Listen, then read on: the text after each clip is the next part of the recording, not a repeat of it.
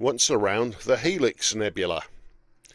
So the Helix Nebula is fairly low in the sky from my location here in Cambridge in the UK. It's in the southerly part of the constellation of Aquarius with a declination of negative 20, so 20 degrees below the celestial equator, which means that from my point of view it only makes it to about 8 degrees above the horizon, um, just above the hedge at the bottom of my uh, observing site. So somewhat difficult, only get a few days each year when I can actually point the telescope at this, but I have done and I've got some nice photographs. The Helix Nebula catalogued as NGC, New General Catalogue 7239, and uh, you can see the location there marked with the red numbers. Discovered by this guy, Carl Ludwig Harding, and it says most likely before 1824 because the records are a little bit incomplete. But uh, absolutely love the photographs of this uh, that people have generated through various instruments, uh, and they're all different. Everybody has a different idea of how to interpret the color palette. Um, so there's quite a nice amateur grade one for you. Here's a professional image showing the Helix Nebula in much more detail. And this is a planetary nebula, nothing to do with planets. This is a dying star. A sun-like star has ejected most of its outer atmosphere and left just the central hot white dwarf star, that little pinprick of light right in the center there. And you can see how the material changes color. It's bluish in the center yellower in the mid part and then fades away to red and then dark red at the outside. And that's telling us things about the uh, way it's being illuminated by the light from the central star which is a very very hot white dwarf star. So a lot of very high energy light a lot of blue. But it's also telling us about the chemical composition and the uh, pinkish red colour around the outside. Is a mixture of a lot of dirt and dust plus uh, large amounts of hydrogen giving us that red colour. And the yellow that is from helium unburnt helium that was uh, ejected later on so the outer layers were unburnt hydrogen, then helium from deeper in. And in the centre, then the mix would have been dominated by carbon and oxygen, which tend to give us some of those bluer tinges as well. Distance wise, somewhere in the 650 to 700 light years, depending on which source you look at. Uh, the most recent is Gaia saying 655, so at the nearer end of that, and it does put it as one of the nearest planetary nebulae to the Earth, um, and that's why it's so spectacular from our point of view. We see it as a ring around the central star. It's actually more of a prolate spheroid, a rugby ball shape or American football shape object, and um, that's uh, around about uh, just under three light years in diameter along the long axis, tilted at our line of sight by 20 to 40 degrees, and that uh, gives it the flattened shape when we're looking at it. One side of the disc is definitely more compressed than the other side, probably because the material is impacting a denser region of the interstellar clouds between the stars and being slowed down in its expansion. And the image in the center there is an infrared image, and that just goes to show that uh, depending on what wavelength you look, at these objects with, you can represent the colors any way you like and you can get more detail by choosing the color palette to bring out anything that you're looking for. So the European Space Agency provided this lovely map overlaid on the image of the Helix Nebula showing the different features that have been identified.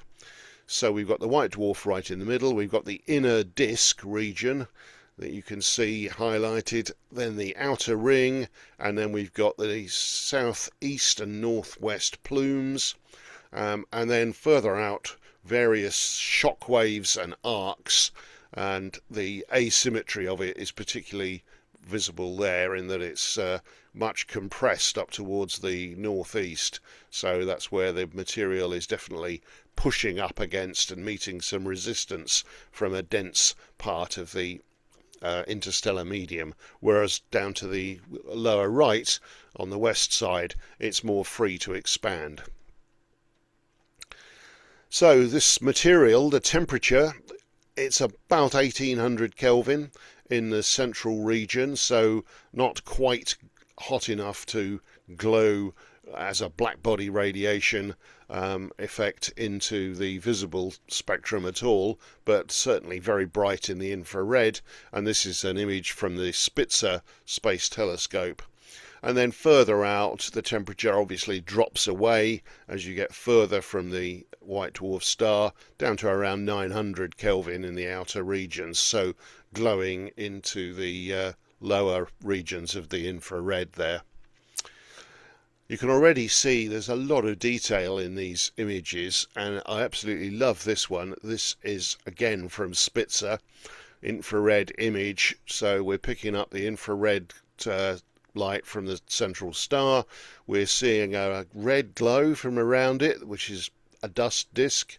And then further out highlighted in the uh, turquoise blue color you can see all of this material. And if you look at it you can see streamers that seem to be pointing inwards that look like comets these cometary knots as they've been described. And uh, there are just an incredible number of these. Um, we have some fantastic images of them. This is from the Subaru telescope, and what you can see is that these are little dense globules with tails on them as many as 40,000. Someone's actually attempted to count them. I, I think that's uh, going to be not really a sport I would get involved in, but uh, there's a lot of these anyway. And the telescopes we have today are phenomenal. They can zoom right in, and we have another image here, a real close up of these cometary knots.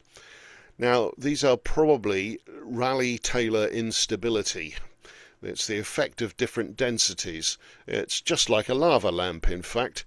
Uh, if you have, remember uh, what happens with a lava lamp, you have a heat source at the bottom and two immiscible liquids, and you, you get these. Uh, fingers of material that rise up, cool, and then fall back down again as they uh, circulate round and they create these sorts of cometary knots inside your lava lamp. Uh, you, you, get the exact same effect wherever there are two immiscible fluids and a heat source. And of course, the heat source, they're all pointing towards it, they're all pointing towards the central white dwarf star. And then the uh, tails lead back in the shadow of the dense blobs. So, how old is this uh, Helix Nebula then? Well, it's pretty young actually in terms of being a nebula. The inner disk was only ejected just over 6,500 years ago and it's expanding. We can measure the Doppler shift and you can see that it's expanding at 40 kilometers per second, so twice as fast as the Earth goes around the Sun. And the, the outer layers date back twice as far, 12,100 years, and are expanding more slowly at only 32. So, of course, what's happening is the inner layers are catching up with and overtaking the slower moving outer layers, and it's that that's creating those Rayleigh Taylor instabilities as the hot younger material is trying to overtake the cooler, slower moving outer layers, creating all of those uh, cometary knots. And this tells us really that the outer material probably wasn't ejected in the same process. The inner material was ejected as the star finally transformed itself into a white dwarf and blew the last remaining parts of its atmosphere away. But the outer material was ejected much earlier, no, 6,000 years earlier, during the last phases of the star's life as an AGB star, an asymptotic giant branch star, which is like an advanced stage of a red giant. uh, where it's gone through the ordinary red giant phase, ignited helium, burning to form carbon and oxygen in the core and then the uh, carbon oxygen core has started to build up so it's ended up with hydrogen burning in a shell overlaying a helium burning shell overlaying a dead inert carbon oxygen core.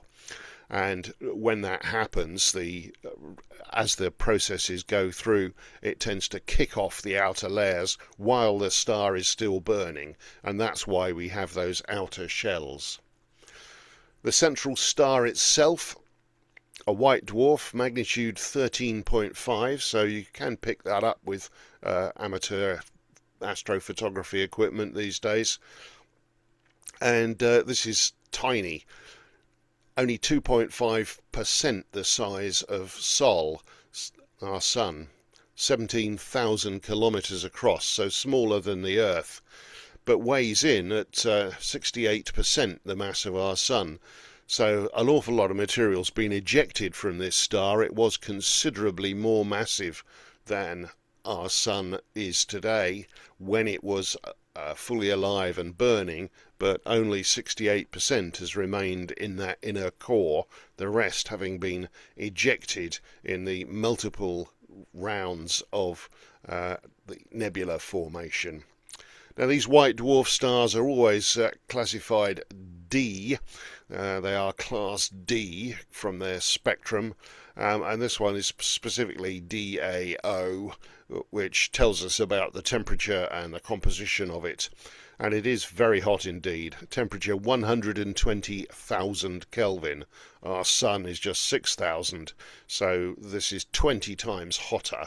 And it's that that gives it that blue color and there is an enormous amount of very strong ultraviolet light coming away as well as would be beginning to emit soft X-rays at this sort of temperature as well. Now we saw around it in the infrared image a pale red uh, smudge around the central star and that is a disk of material around about uh, going from 30 to 100 astronomical units. So that's the orbit of Neptune uh, at 30 astronomical units out to beyond where our Kuiper belt uh, would be with all those icy bodies. And indeed, this seems to be made of icy bodies as well. Lots of dust, picking up the infrared light, perhaps fragments of dust that have resulted from the collisions of a lot of these small icy worlds that seem to be still in orbit around the white dwarf, and thousands of what we call exocomets. And so these are, again, dirty snowballs of material that have ended up in this region and are being strongly illuminated by the very high energy beams coming from the white dwarf itself, um, perhaps pointing to the fact that there is sort of not only a Kuiper belt but a an Oort cloud-like structure around the star. Now in 2024, periodic variations in the star's output seemed to suggest that there was a planet around about 2.3 times the uh, Earth's mass, so a super Earth going around the uh, star itself, and I don't have a photograph of that. Um, what's in this artist's impression looks an awful lot like the moon to me, um, but uh, it's uh, a good representation of a, a rocky body that seems to be in a fixed orbit around the white dwarf, showing that the planets, or at least the cores of the planets, seem to be able to survive the ejection of the nebula. And in 2025, X ray uh, studies by the Chandra Space Telescope revealed that there are such material going into the white dwarf uh, as to suggest that it's the stripping of a Jupiter sized object like a, a, large gas giant planet orbiting close into the white dwarf and beginning to be torn apart into that disk, adding material into it that will uh, spiral in and get superheated, soft X rays coming off, Um, and so there's again a survivor uh, although I don't think this one's going to survive very long at the rate that we seem to think that uh, the material is being dragged away from it. And so here's that lovely multi wavelength image of the Helix Nebula with the uh, extreme outer layers all beginning to show there and that dust disk in the pink reddish region in the middle with the white dwarf. This is uh, infrared with added visible and ultraviolet light overlaid on top of it, giving us this false colour but nevertheless fantastic view.